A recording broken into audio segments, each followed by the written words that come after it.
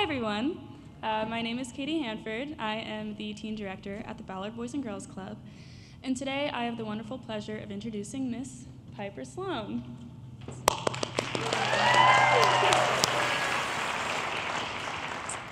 Piper and I have known each other for only a few months, but from the moment I met her at the first Keystone meeting, I knew she was simply a wonderful person.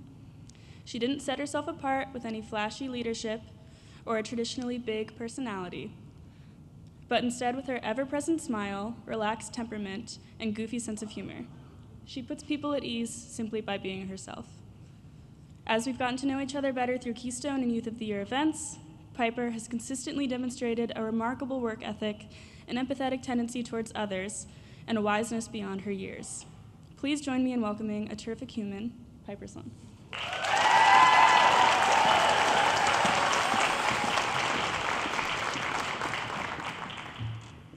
Don't need to go to the podium because I'm got a handheld mic. Okay. Um, my story with the Boys and Girls Club begins exactly six years, four months, and 23 days ago, give or take 12 hours or so. That was the day I moved 8,181 miles from Melbourne to Seattle. I was a short little nine year old girl with stark blonde hair, a thick Australian accent, and very little understanding of the new world around me. I wore a fluorescent yellow sweatshirt and bright pink leopard print fedora. I pretended to be an expert on every topic I discussed, and believe me, I was not. And I was completely obsessed with the, with the constant thought of what other people thought of me. I was self conscious, homesick, and friendless. For my 10th birthday, the birthday I'd been eagerly anticipating for years, instead of the elaborately themed party I hoped for, I stayed at home with my parents, my reluctant older brother, and a bowl of pudding. Doesn't sound great, I know, but at the end of the day, I wasn't disappointed because that day I had gotten so much more than I could have anticipated. That day when I walked into the Boys and Girls Club, I got countless happy birthday wishes from people whose names I didn't know. I got hugs from kids who are now some of my best friends, and I felt more special than I had felt in a long time. Of course, anyone can make you feel special on your birthday, but the truth that makes the Boys and Girls Club such an overwhelmingly positive place is that they made me feel special, welcomed, and loved every day, no matter the occasion. They provided me with new opportunities and a nurturing environment in which I could grow.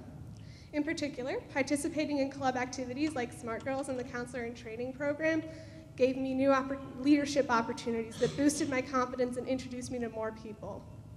They helped me prove to myself as well as to others that I was capable of handling responsibility and taking initiative.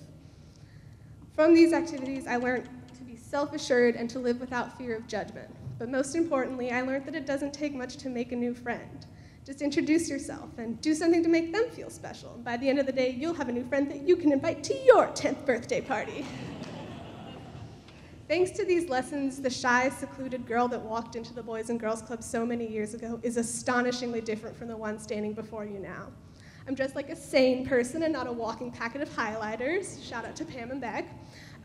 Um, I lost the accent, but I made some amazing friends. They're not here right now, but promise me, I promise you, they exist.